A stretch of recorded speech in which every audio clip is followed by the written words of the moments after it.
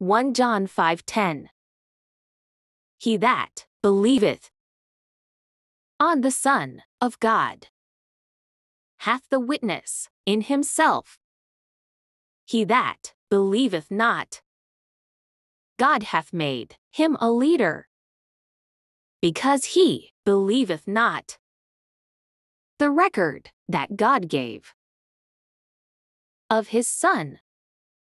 And this is the record that God hath given to us eternal life. And this life is in his Son.